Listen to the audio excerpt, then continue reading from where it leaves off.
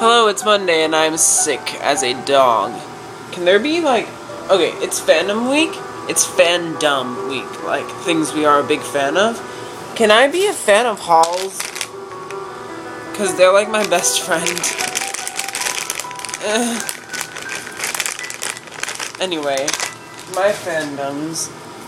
Well, actually, I've got a couple failed fandoms right here. I attempted to get into the supernatural fandom and I sort of got in, but it's just there's like seven or eight seasons that I'm I uh, this is the third season borrowed from my friend and I just had to stop watching it. There are 22 episodes in every single season and I couldn't. I mean, I liked the first two seasons and I liked what I watched in the third season. I just don't have the time to be obsessed with it. Um, and then my friend Erin, she's Thursday, right? Yeah. She gave me John Green's Will Grayson, Will Grayson. And I never really got into that either. It's weird. Um, but actual fandoms I'm part of. I'm definitely part of the Hunger Games fandom, which I think I qualify as being part of, even though I haven't read Mockingjay yet. That's this baby right here. I need to. But, um, I mean, I'm obsessed with the Hunger Games. My Tumblr is kind of filled with it. And also One Direction. And, um, I would show you something related to One Direction, but the only stuff is on my iPod, and that's what I'm using the film with.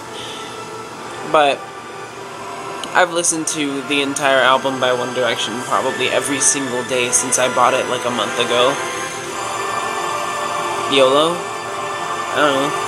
Um, and I, I have phases in my life where I'll be obsessed with like one video game, one type of music, and one television show at the same time.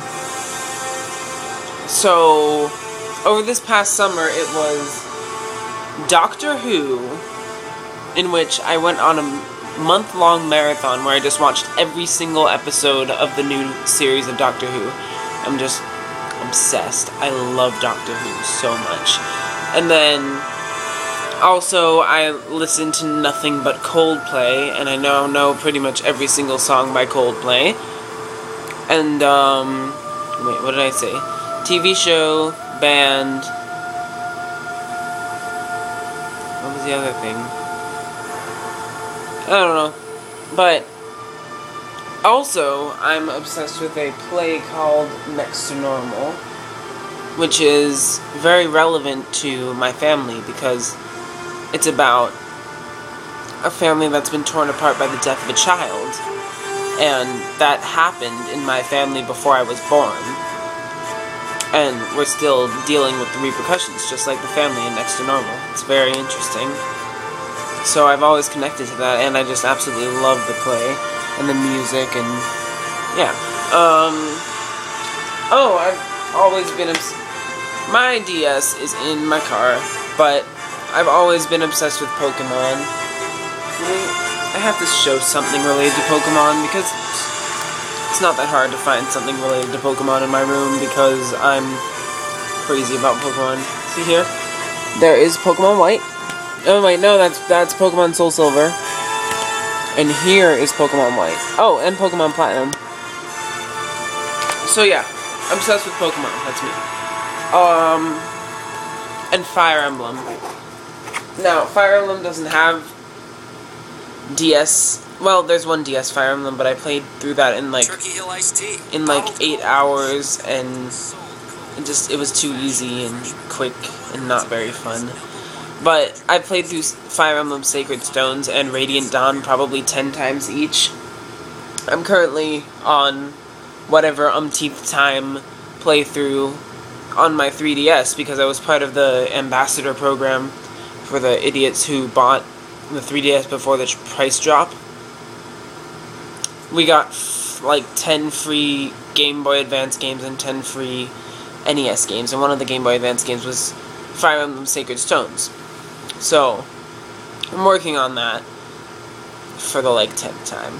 And I've also and I own Radiant Dawn, and I played Path of Radiance, and I played Fire Emblem Seven, which was the first one released in America, and I also played a translated version of Fire Emblem Six, which was the first Game Boy version, but I played it on my computer because you can't get a Japanese game here, and you can't get it in English. Um. Oh, and Harry Potter. How could I forget Harry Potter? I love Harry Potter. I read all seven books through like seventh and eighth grade. Yes, I was late. Deal with it. Um, I saw all the movies, etc., etc. Um. Oh, and I learned every single spell from Harry Potter while I was reading the books. Because I'm very, I'm a very facts kind of guy. I like to know all the facts, and I always remember specific facts about insignificant things in novels. Like in the Hunger Games, I could tell you everything about every um, tribute from each district. Like Foxface from District. El- no, okay, bad example. But when I have just finished a book, I can tell you, I can recite useless information. So I'm just a fanboy. I do that for a lot of things. And uh, happy fandom week.